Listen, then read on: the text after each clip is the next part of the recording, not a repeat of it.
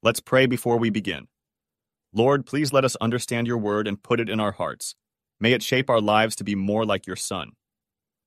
In Jesus' name we ask. Amen. Or on the west side of Chicago, or on the north side, or in certain parts of East Chicago, Hammond, Whiting. I wish you could see the thousands of little boys and girls in this great Chicagoland area whom no one seems to love. I mean, no one. It makes you wonder really what's going to happen to this nation in the next generation. It also makes you wonder if a kid has a chance. Like these boys are just about to sit up straight here on the front. That's right. Like this fellow here is going to sit up straight. That's right. Stand up, son. I, am not, I'm not mad at you. I want you to stand up. I want to just use you for a minute. Take a kid like that. Come here. Come up here a minute. I'm not mad at you. I'm going to be good to you for a change. Turn around and face the people. Now, that's what you call a typical American kid. He's been to Texas. How many times have you been to Texas? Well, you got Texas freckles all over your face. You're bound to have been there some. Thank you, pal. Has he got a chance? Does he have a chance? How old are you, son? Twelve. Does he have a chance? Already. Already, folks are trying to probably sell him dope. Anybody ever tried to get you to take dope? Yet? Not yet. Praise the Lord. Just around the corner, Satan's going to point the needle toward him and say, You want to really have fun? You want to really go on a trip? By the way, Satan hadn't gotten it. Uh, narcotics or the devil has no trips to compare with the trip we've been on this week. None at all. None at all. But it won't be long now till the devil's going to point the needle at him. But that isn't it. All. The dirty liquor traffic is going to try to get him. Satan's going to put newspaper ads and television commercials before that kid. Do everything he can to get him. Because the devil wants him. The devil's going to try to spend every weapon, use every weapon he can to get him. Little lady, you'll have to be seated in church here. You'll have to be seated. You'll have to be seated. You'll have to be seated in church. That's right. You can't just walk around in church. You, can't uh, walk. You should be seated now. I'm preaching right now. You'll have to be seated, and I'll be glad to see you after the service is over. And uh, anybody want to get up and whistle? And uh, anything you want to do, just do it. I mean, but uh, that's all right. I'll be glad to see you after the service. But right now we're preaching, and nothing stops the preaching. it reminds me of a, of a we had we had a lady in our church. And This is a very sane, sensible lady. We had a lady in our church that sort of, you know, like some of these fellows on the platform, and and uh, she came down to the front while I was preaching one day, and Brother Lyons over the building looked down and said, "What is it you want, Gertrude?" And she said, "I want to play Home Sweet Home on my French harp." That, next time she came down, and said she'd move, want her dress changed on the church record. And so anything you want to do here, feel free to do it. But uh, the honest, simple truth is, the devil's after that kid. He's after him. I mean, the dope crowd, and the liquor traffic, and the licentious, lewd, the homosexual crowd, the adulterous crowd. The devil is after that kid. Has he got a chance? Does he have a chance to turn out decent and right? Yes, he does. But there's only one. Only one. He must be planted in the house of God. Now, the psalmist here talks about being, he says, um, uh, they, those that are planted in the house of God shall flourish in the courts of our God. Now, this was a, a psalm that was sung on the Sabbath. It was a psalm uh, uniquely dedicated to the Sabbath day. It was the kind of a song that we'd sing. We come to church and we sing, uh, Jesus saves, Jesus saves. It was uniquely suited to the worship on the Sabbath day. Now, a tree planted in a house. Why would they talk about a tree being planted in a house, young people? Why? because the houses, many of you folks, anybody here ever grew up in the country where, uh, where you had a, a big hallway down the middle and, and it was, it was open on either end? Remember you had a hallway down and usually had a well right in the middle of the hall? uh, old, the old pumping kind. Anybody here uh, poor, ignorant, dumb, hillbilly that's 100 years old? Anybody like that? I am. Anybody? Well, numbers of you. You used to have houses where you'd walk down the middle of the hall. On either side would be the rooms, and uh, wouldn't be any door to the back. You just walk out in the back, and usually on a back porch or somewhere would be a, a well. Well, now the houses were built in in the Oriental days, uh, four square. You'd have um, a house was built sort of like this, and in the middle of the house it was open to the sky.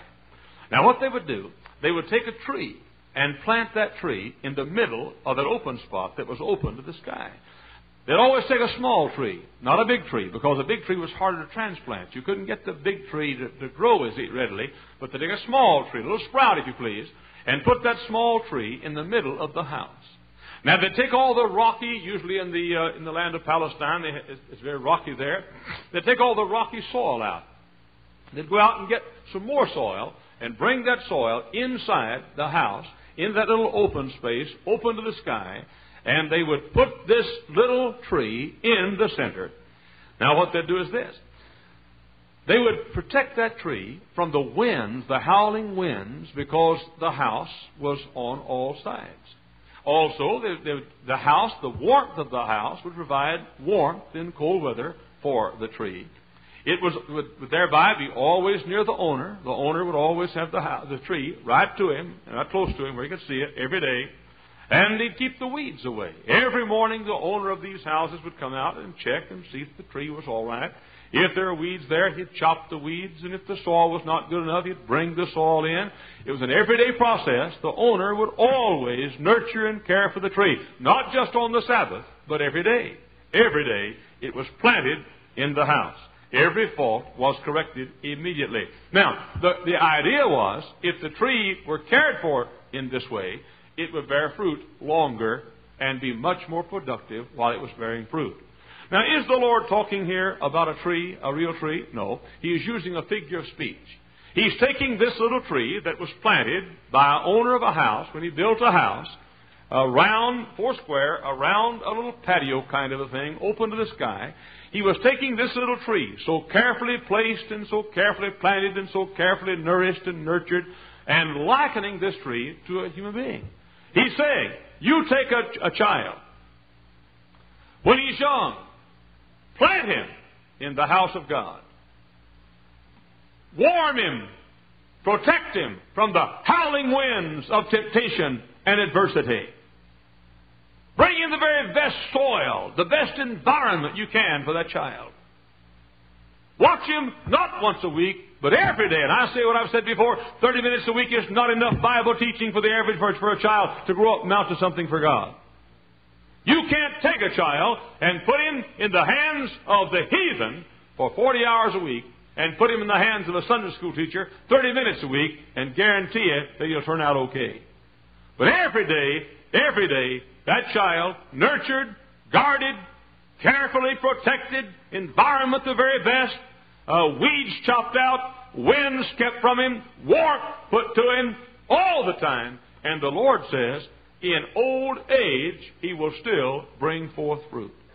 Now, say what you want to say. You can say what you want to say, but the honest, simple truth is the best way in this world to rear our children is God's way. And God says, plant him in the house of God. I've said this before and I say it again. Young people at First Baptist Church of Hammond, Indiana, you don't need to go outside this church for anything you need in your life. There's no need you have that this church can't satisfy. I'm talking about except your family, of course. You don't have to go out in the world to have your fun. We have more fun right here than the world has. Listen, if Hollywood, if Hollywood could buy what went on Tuesday night at that Civic Center, they'd pay any price for it. I mean, listen, brother, Max Helton can outdo Red Skelton any day. Jim Vineyard's a bigger monkey than they, they've, got, they've got in Hollywood. And Errol Dukes is a bigger monkey than Helton or Vineyard, either one. Now I'm simply saying this. Look, look. This world has pointed every gun in its arsenal toward this boy right here. And toward your kids and toward mine. Now, we're going to have to undergird our forces, and we're going to have to heed the Word of God that says, if they be planted in the house of God, when they're old, they'll bring forth fruit. Now, I want you to notice what they did. In the first place, they put them there early. They put them there early. I was in a barber shop the other day, not far from here, and the fellow was getting a haircut, and I was waiting. And uh, this fellow, and I started talking. I was reading the sport page, and I said to the barber, "What kind of chance you think the Cubs have this year?" The Cubs won a ball, a pennant, last time our church softball team won a game. And I said, "What kind of chance you think the Cubs have this year?" The fellow in, in the barber chair, who was a Cub fan, he, we started talking, and very nice, friendly kind of guy. And so the the, the thing, the subject uh, was was directed toward children. Why I don't know, and toward the temptation of the day. And I said something. I didn't know who the fellow was, and he didn't know who I was. I guess. Yes, he did. Yes, he did. But um, anyway, uh, he, he said, "Well, I just don't think you can shelter children. I just think if you if you, if you shelter them too much when they get old, they won't amount to anything. You've got to let them when they're young see life as it really is." and uh, the barber said, "What do you think about that, Reverend?" And I said, "I think it's a beautiful day." And uh, he said, this fellow said, well, I just think you ought to, you can shelter them too much. I just think kids ought to be out and see some of the world so when they get older, they, they won't be shocked and they won't get tripped up. And the barber said, what do you think about that, Reverend? And I said, I think the Cubs are going to win the pennant this year. Uh, amen? And uh, so uh, glad we finally got down to your spiritual temperature. But uh, uh, I think the Cubs will win the pennant this year. And it, I, I refused to answer the question. And so when the fellow walked out and I got in the chair, I asked the barber who he was. Who's this fellow that says you can shelter him too much? He said he runs a tavern over here on State Street. That's the kind of crowd talks like you talk. That's the kind of crowd uses your language. I'd be ashamed to have the same argument the tavern keeper has. He runs a place over here on the corner of State and Sohl. This nice little leap in, limp out place.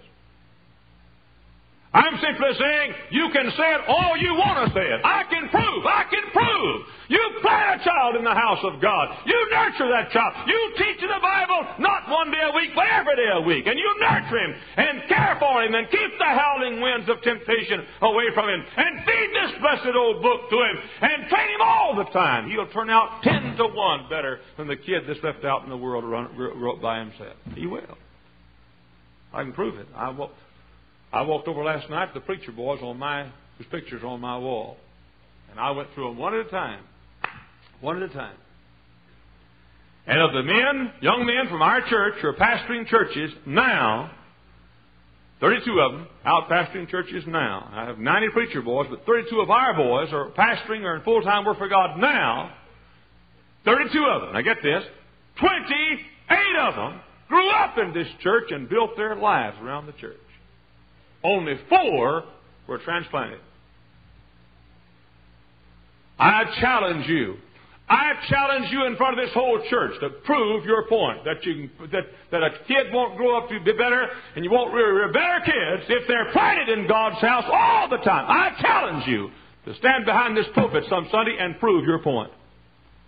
I get a little weary of people saying, "Well, I just don't see eye to eye." I dare you to prove it. Now, now either put up or shut up.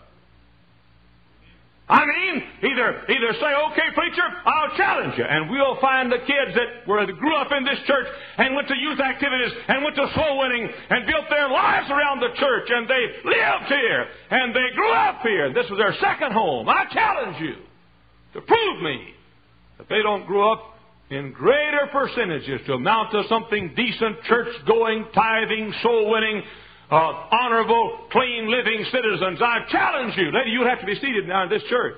Lady, you'll have to be seated during this service. You'll have to be seated. You have no other choice. We just don't get up and walk around this church. You'll have to be seated while you're here. Now, I'm simply saying, if you want your children to grow up to be decent, law abiding, Christians, church going, Sunday school teaching, deacons and soul winners and fruitful adults. you're going to have to come back to the simple truth that this old sin cursed, wicked world is after your kid, and you're going to have to plant it. You say, I just don't see eye to eye. You just wait till your kids grow up. You just wait.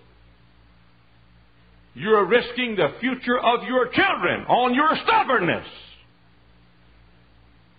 Just because you don't want to agree with the preacher, you are risking the entire future of your kids, the most precious possession you have in this world, in God's name. Listen to God when He says, They that be planted in the house of the Lord shall be fruitful in their old age. And so they put them there early. You can't transplant a tree as easily as you can, as you can plant a young sprout. And so they took this small sprout, and then they checked them daily. Every morning when the man in the Oriental house would get up, he'd come to the little tree and he'd look at it carefully, look at it carefully. He'd go out and gather some soil from the outside and put good soil. He'd take the rocks away. He'd take the hoe and chop away the weeds. For that tree was the most important thing in that garden. Nothing took the place of that tree. He gave every bit of attention he had to that tree. Why? It was the thing he wanted to decorate that little open, that little uh, open spot it was the thing he was concerned about. Every morning he'd look at it. Every evening he'd look at it. He'd take care of being sure it got enough water, enough sunshine, enough warmth, and keep the howling winds away. And here at First Baptist Church, I, listen, several years ago, I had a little talk with the devil. And I said, old, as old Billy Sunday used to say, I said, old smutty face, you've gotten the last kid from our church you're going to get without a fight. The last one. I sat in my office and I, I caught the tears of parents who came and, and, and, and wept on my shoulder. And I caught the tears of parents whose lives were wrecked and ruined. I stood, I stood over here one day at this, at this bus, bus uh, station with a man in this church who had given his life for one purpose and one purpose only. And that was to rear, to send his boy off to college.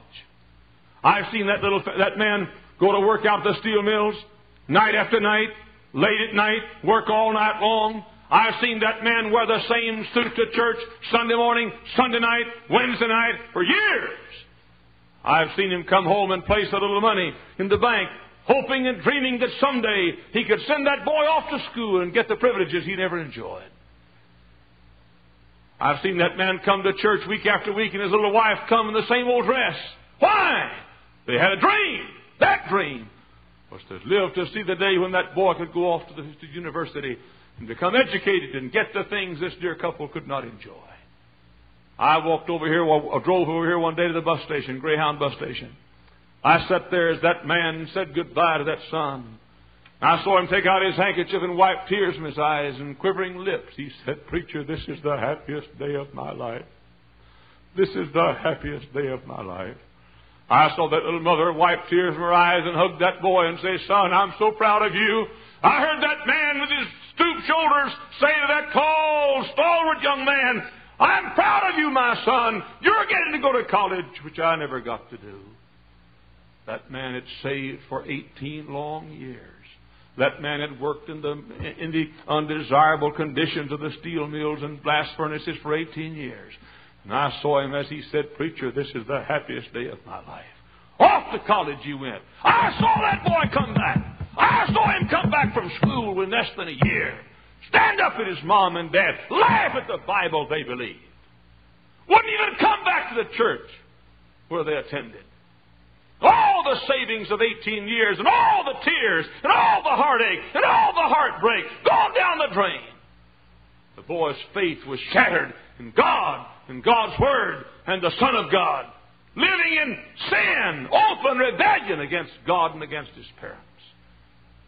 And I went to that home and caught the tears off the cheeks of those two blessed parents, and they said, Brother Hyles, we wish we could die.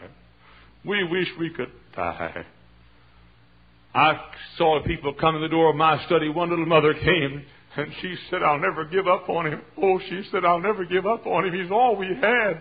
He's all we had. And one day in my study, I got up off my knees after I'd cried a half a day, and I said to the devil, That does it! You're not going to get him without a fight. I have to make half the deacon board mad. If I have to make folks in this church think I'm preaching along one line all the time, okay, but I'm not going to let these kids go to hell unless the devil has the fight of his life. I'm not going to do it. This wicked, godless world, heathen universities, communistic teachers, liquor traffic, narcotics traffic, vulgar minded vocabularies. I decided to build some walls around our little plants. And I decided to make it possible for our young people to grow up as little tender hothouse plants. Call them hothouse plants if you want to. Wait and see how they turn out. Yeah, they just grew up in the shelter of the church all the time. You talk to God about that. He wrote the 92nd Psalm.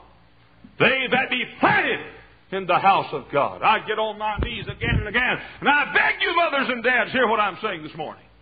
Don't sacrifice your kids on the altar of your unwillingness to hear the Word of God and God's man who's been doing this for 25 long, long years. I know what I'm talking about. I'm simply saying you're going to live, you're going to shed tears. I'm not going to be happy when you do. I'm going to cry with you. But I have seen too many shipwrecks. And young people, you mark it down. Last night I couldn't go to sleep for weeping about some of you kids.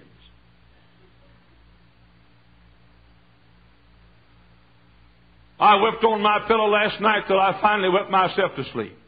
Why? Because I want more than I want to live. I want to see you amount to something for God.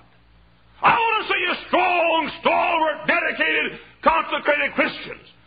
Every time I see a weed, I'm going to chop it down. And I'm tired of some of you parents coming up and want me to put that weed back after I chop.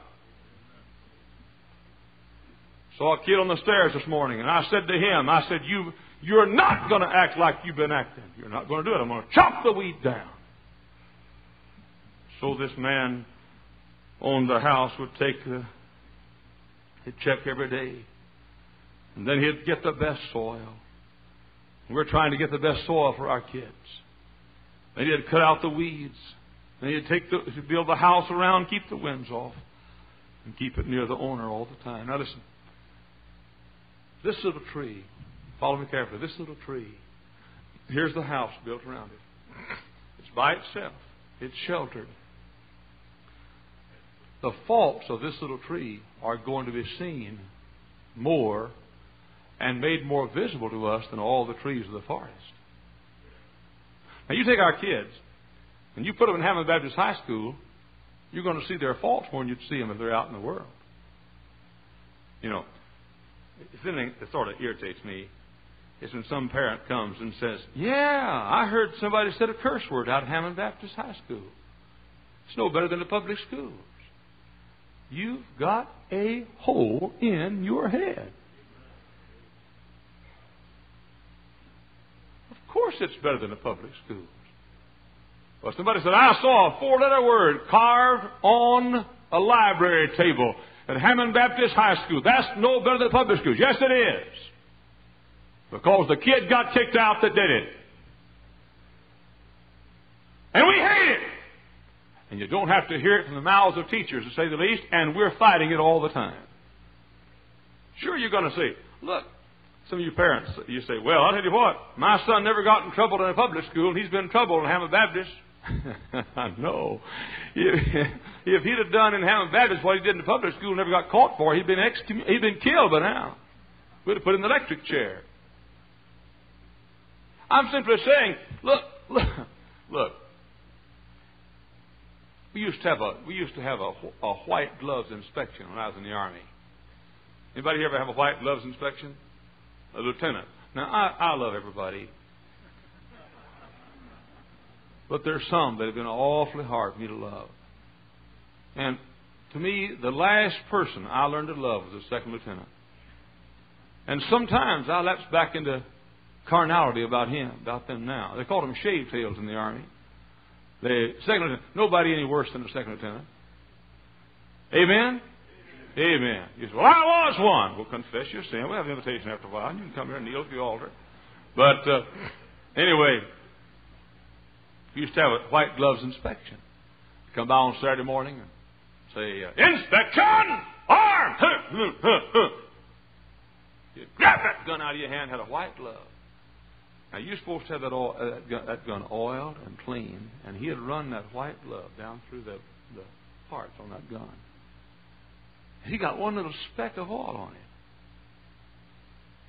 Listen, we had to pull KP.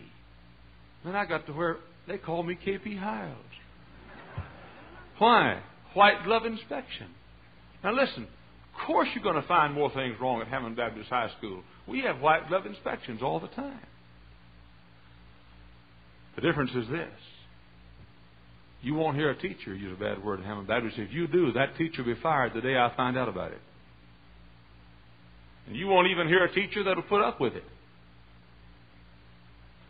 And we weed them out. Say, well, Brother Hyles, I just think that cursing, I think cursing is cursing too. And I know we've had some cursing a time or two at Hammond Baptist High School. But I do what we do, brother. We're, we're trying to, weed, to, to chop the weeds out, and we'll chop the weeds out. And you make, you make a note of this, kids, as I've said before. If you curse and I find out about it, you'll be cursing in public school next week. I'm simply saying, ladies and gentlemen, if we'll plant them. Did you know that in, in a child's life, a little child is, when that little cord is cut in the life of a child, dividing it from its mother, there starts a severance. And that severance continues until that child says goodbye at the altar. Nobody ever gets married in this church. For what I don't feel for the parents. Old Bob Van Gorp, I even felt for him. And he came, I, I recall the night Becky got married, I preached in this church hundreds and thousands of times. I know every nook and cranny. I helped build this thing. I checked on every piece of wood that's put in this building. But when, that, when, Mrs. Colston started playing Here Comes the Bride and I stood up here beside Becky, my knees knocked all the way down. I want you to know I was a nervous wreck before I got here. and when when when uh, when uh, I forgot who it was stood up here now, I asked, "Who gives a bride away?" I felt like saying, "I don't have any idea in this world."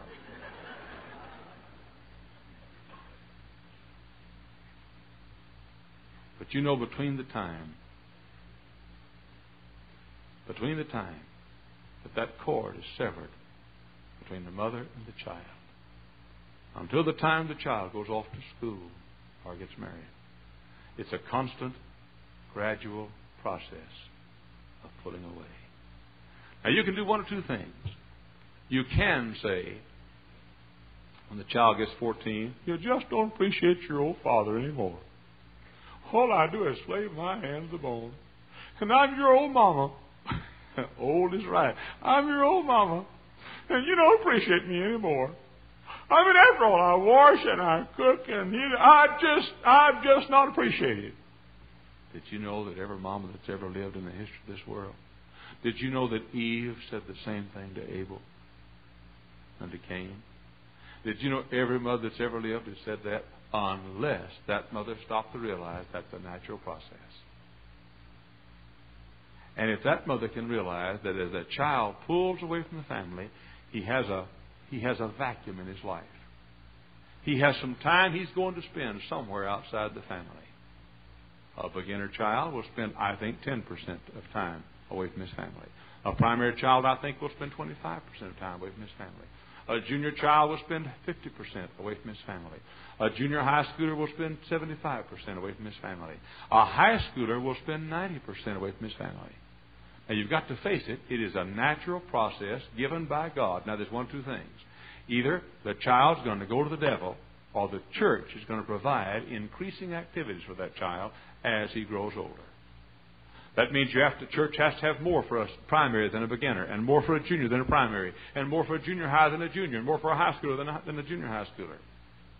And that's why we do everything we can to be sure that our young people can build their lives around the church and be planted in the house of God. We just got through with the pastor school.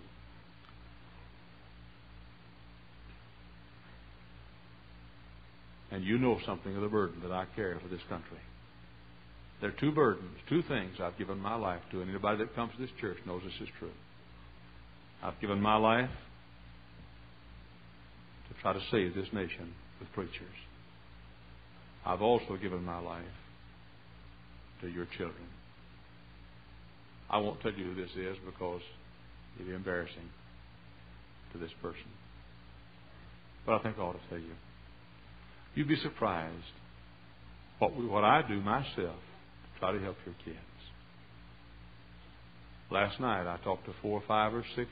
Yesterday, yesterday several. Friday night several. Little kids. They're not doing too well. One little boy. one little boy. I'm sorry to laugh. It's not. It's not funny. It's sad. he had taken two long-haired girls sitting in front of him. He had tied their hair together. And uh, I mean, fella, if you're here, I'm not laughing because I think you ought to do it. I'm laughing because I never thought, heard about doing that before. And uh, he had taken the long hair of one girl and tied it to the long hair of the other. They both got up, they started walking away, and they both pulled each other. You know. and so, and uh, so he was brought to me, and uh, and I said, "Why? What? I don't know." But but why? Why? I mean, I love you, and I did. I I, I love you, and I'm trying to help you. I know. Well, are you going to do it again? No, but now that I've preached about it, 45 others will. Well, look, you're my buddy. I know I'm your buddy. Well, you're going to have to do better. I'm going to do better. Now, you know why I spend time? Did you know when God called me to preach, He didn't mention talking to a kid who had tied two girls' hair together? You know why I do? I love the little tyke. He's one of my boys. And I love him. Mother came to me with a little boy the other day. Said, My boy needs to take medicine, but he can't take it. I said, Why? She said, He can't swallow a pill. I said, Oh, he can too. She said, No, he can't swallow a pill. I said, I have to take the capsule and empty the powder of the capsule into a teaspoonful of water. He just gags on a pill. I said, Oh, he can swallow a pill. She said, No, he can't. I said, Bring him in here. I'll teach him how to swallow a pill. So Dr. Hyles had an appointment with a little kid. He came in the office. I said, Now, here's the way you do it. I got a capsule, stuck it on his tongue. I curled his tongue up like that. He curled it up. I said, Now, take this water. Can't. I didn't. I said, You can. You know, take it! I got it. Poured it on down. It went down. He came in last night. I said, How you doing? He said, I can take it in less than a minute now. Took three. I think he said a minute. He was bragging on, but probably the best, probably the best pill taker in this church now. Is that boy? Good kid, nice kid. And this week, his mother wrote me a letter, one of the sweetest letters I ever got. I should have brought it, but I didn't bring it with me. She said, Dear Pastor, I've watched you this week. And she said, You're trying to save America. She said, To think that a man would stand up in front of all those preachers and try to save America, and yet he'd take time to teach my boy how to take a pill. You know why? I love America, and I love that boy. That's what it says about the Father in Psalm number 8. O Lord, our Lord, how excellent is thy name in all the earth, who has set thy glory above the heavens. Where is the glory of God? Above the heavens. In the next verse it says, For out of the mouth of babes and sucklings hast thou ordained strength because of thine enemies. Kids, let me say again. Let's amount to something for God. Let's be clean. Let's be dedicated. Let's thank God for what we have. Let's give our best to Christ. And moms and dads, why don't you trust me? Why don't you trust me? I hate to bring up names, but Ask Lynn May if I'll hurt you. Ask him. This morning, Terry Smith stands in the pulpit. He's gone back now. He stands in his pulpit in Longview, Texas. Fastest growing church in the state of Texas. How did it happen? Terry built his life around the church. I can recall one night Terry came to Terry, Terry came to me and said, Brother House, could I go soul winning with you? I said, Sure. Little teenage Terry, young teenager, and I took off soul winning. Went down here on Kane Street, that where the school is. Walked in one night and one little lady to Christ. She came forward the next Sunday, and Terry said, It's the most fun I ever had in my life. He's pastoring this morning. You know why?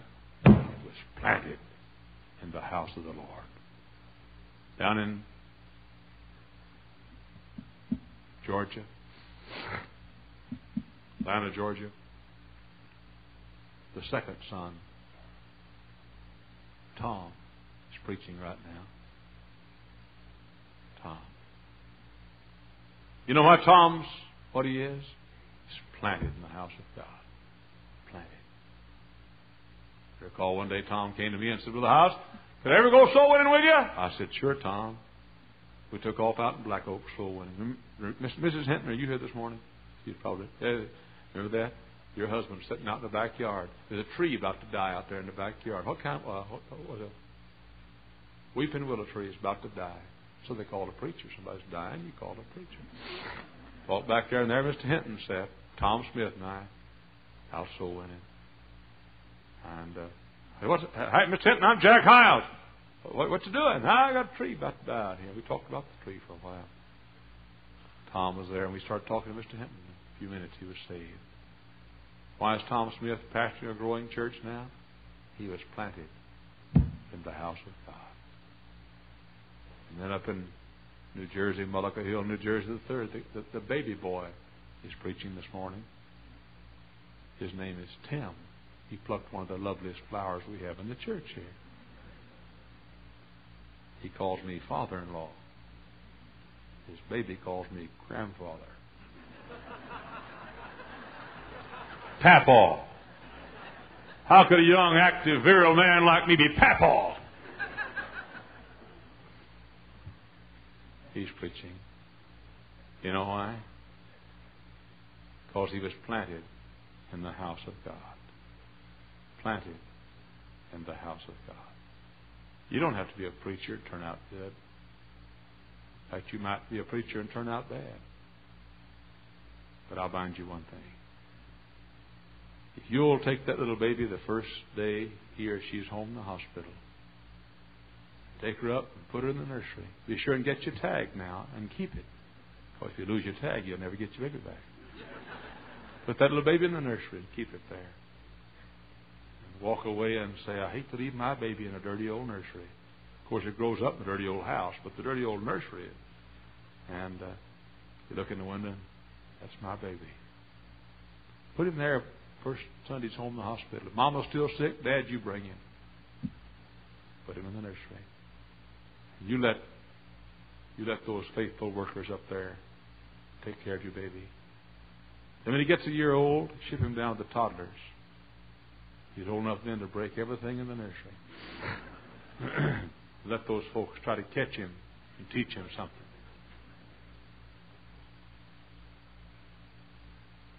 When Trina was home, she's a little over a year now.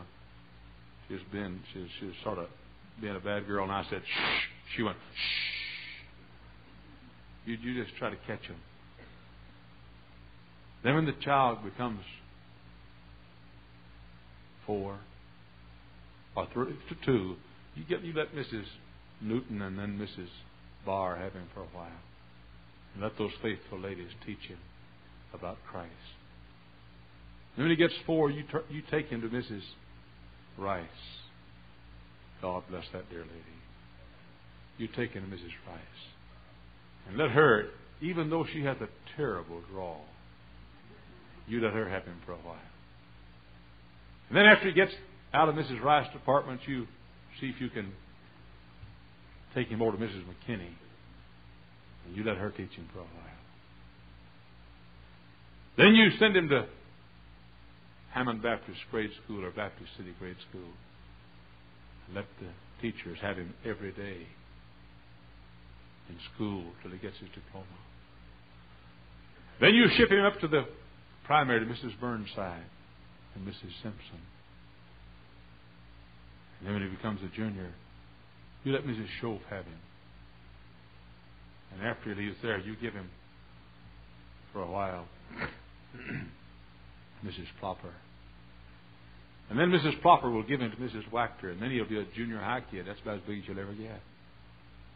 And then you let Mrs. Ruskowski, terrible name, but a wonderful lady. Her name was Smith before she married. What a tragedy. From Smith to Ruskowski. There'll be a book written on that. But you let Mrs. Ruskowski have him for a while. And then the next one is Smith. Let Mrs. Smith have him for a while.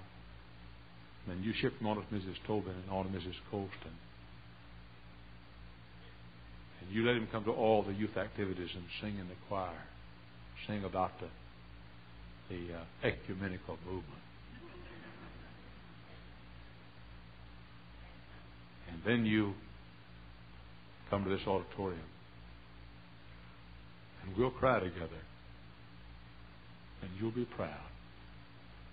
And I'll give him his diploma from high school and shake his hand. And we'll go home and say, Blessed be God. They that be planted in the house of the Lord shall bring forth fruit in their old age. And then you enroll him in Hyles Anderson College or some other Christian college. Let him, let him train to the best he can be for God. I know no greater joy than investing my life in the lives of your kids. They're mine too. And I love them. Let us plant them in the house of God. This boy has a right to, to, to, to grow up and amount to something for God. Let's see to it he does. Let us pray.